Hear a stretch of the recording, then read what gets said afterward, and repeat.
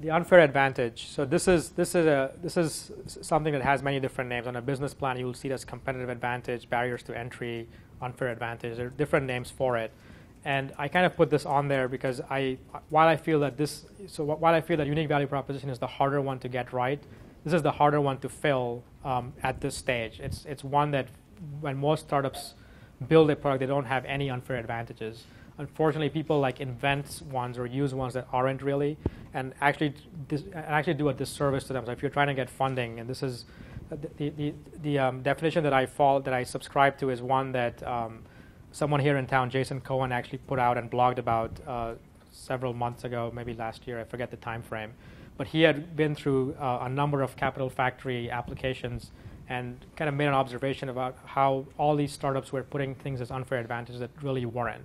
So they're putting things like passion and determination and knowledge about the space as being unfair advantages, which you know can be, but they're not really like that tangible from an investment investment standpoint. Um, and then also things like you know number of features, or we have got you know, more features or less features or killer features. All of those things are not really examples of unfair advantages. So the the one definition that Jason put out is the one that I like the most is something that cannot be easily copied or bought is a true unfair advantage. And I'll, I'll step and talk a little bit about some of what are some of those examples here in a second. But I like this definition because it's, it kind of goes down to the point. So if you look at features, for example, that's something that if you do have this great killer feature, well, what's stopping somebody else from just kind of blindly copying it, which happens inadvertently. Even Facebook, um, which is an example I've been using a lot for some reason today, um, has has got so many clones of Facebook. You can actually go online and buy PHP scripts of a Facebook clone for $200, $300, because that's about how much it's worth. Because Facebook's unfair advantage is not in the features, it's not in the code anymore. It's in the network effects that they have built, which is an example of an unfair advantage that you may not have on day one, but you're able to then build up over time. So let's look at some of the examples of what real unfair advantages might look like. So the first one, and the word, so where the word unfair comes from, I know some people have, have questioned why, like I, I kind of use the word unfair, like what's really unfair about them. So I'll start with one that truly is unfair, and that is the insider information advantage.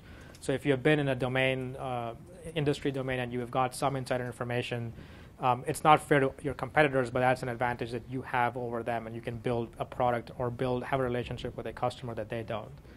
Um, the other example might be personal authority. So if you're considered an expert in a particular field, say you invented a very strong encryption al- algorithm, RSA for example, and you build a company around it, um, that gives you a huge advantage over other people who might just want to license that encryption algorithm from you. So that's an example of how you can you can have a, a compelling unfair advantage.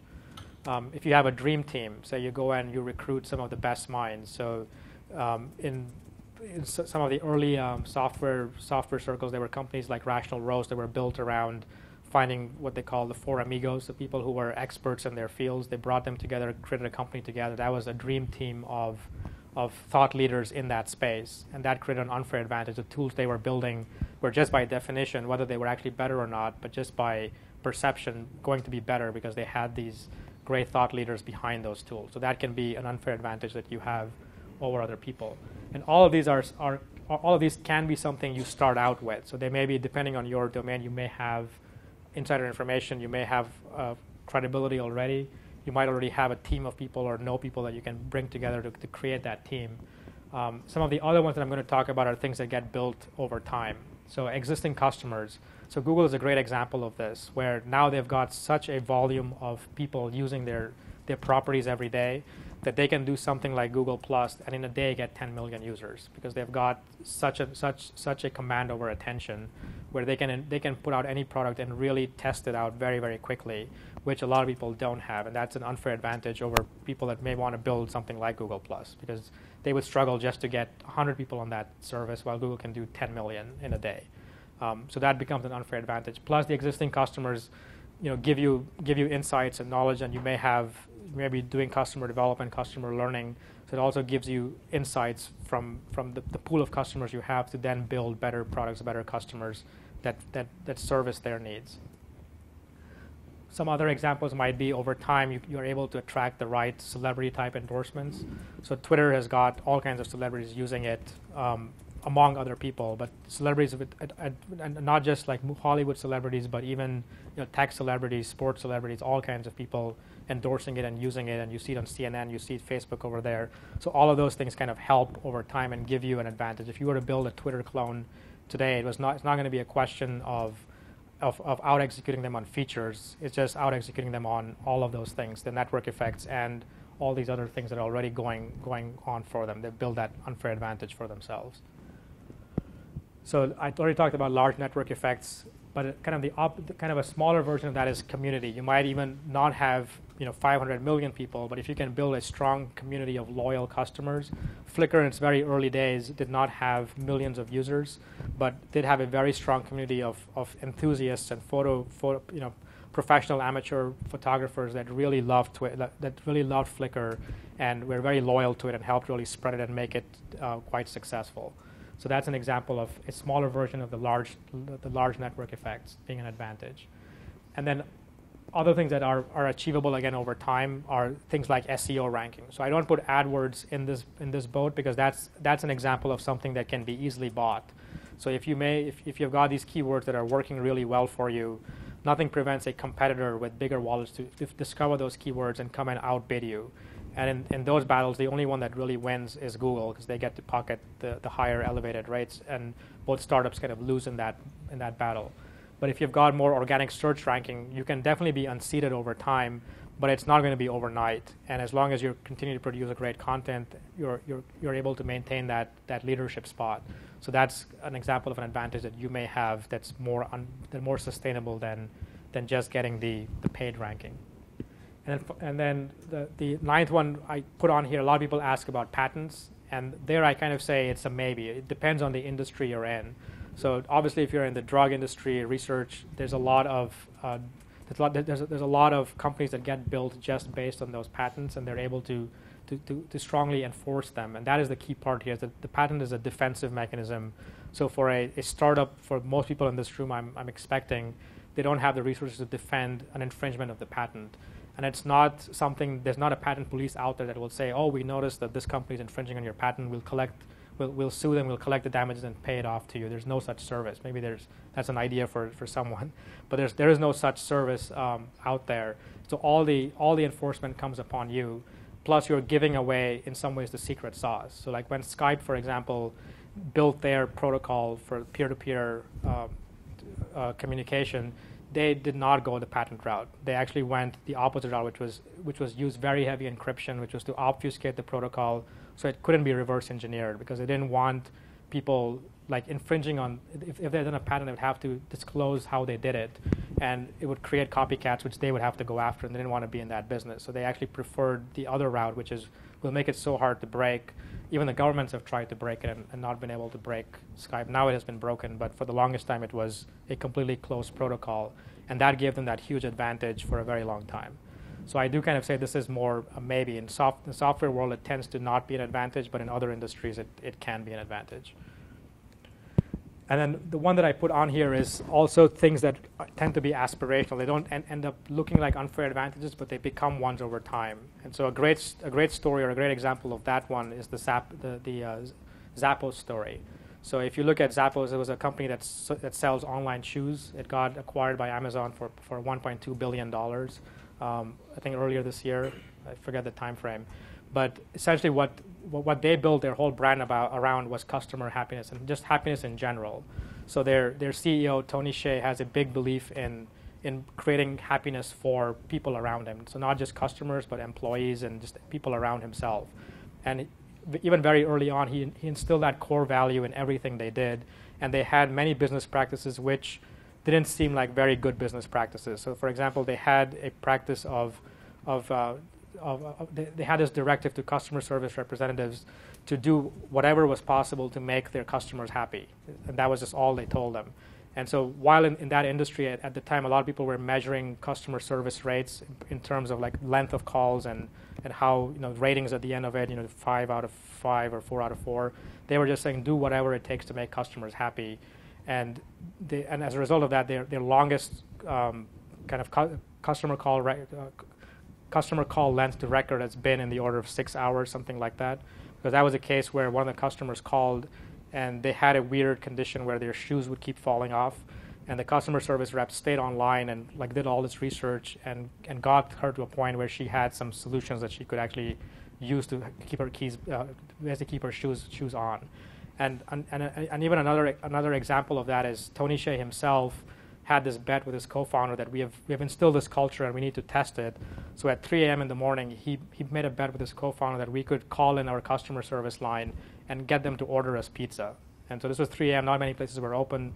This is a shoe place, not a pizza place. But they called in, and sure enough, the pizza was delivered to them. So this is an example of where they instill that culture, and it doesn't sound like very good business practice, but it actually did pay off because it created a very loyal customer base that kind of loved the brand, loved the company.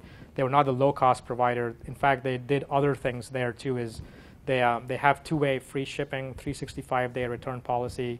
So if you if you're thinking of buying a shoe, you're not sure which ones, they encourage you to buy multiple multiple shoes and see which ones you like.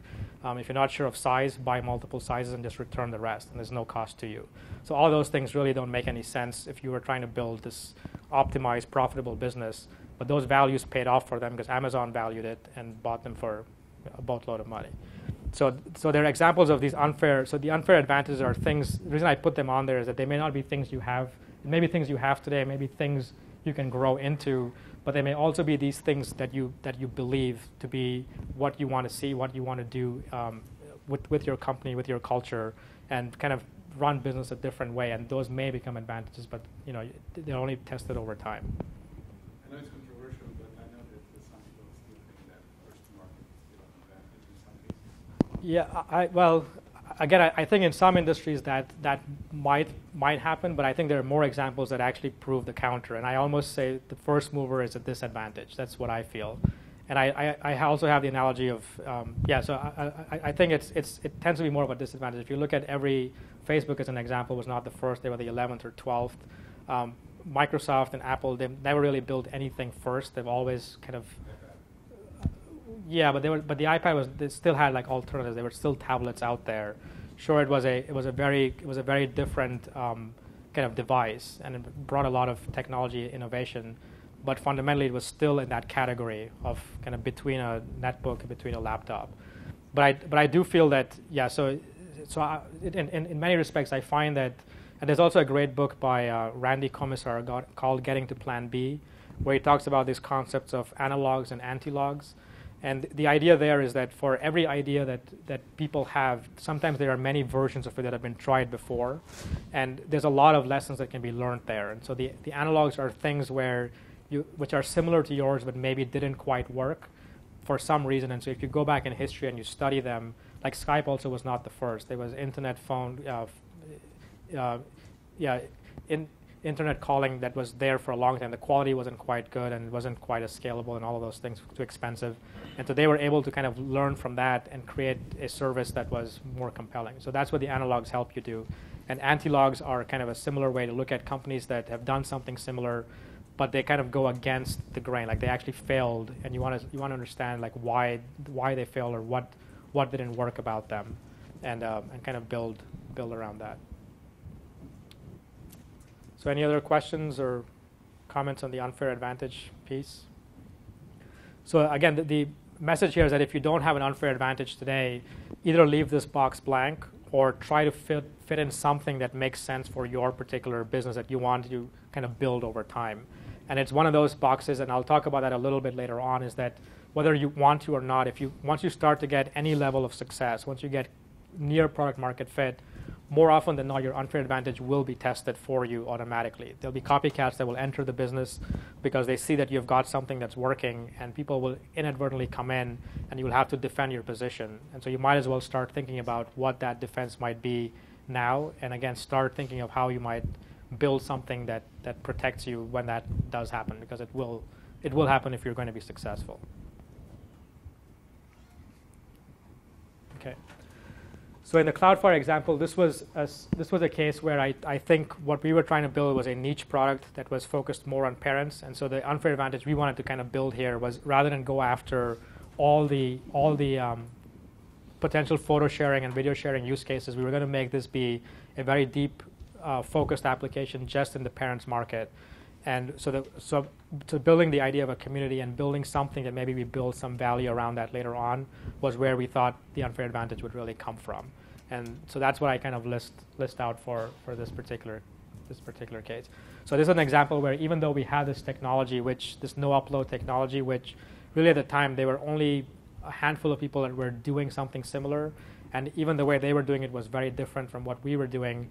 I didn't necessarily see that as being an, a sustainable unfair advantage because if we did manage to build something here, chances are we would get copycat. So it had to be something that um, that would be able to, to kind of stand the stand the test of, of, of just the features or just the capability of that platform.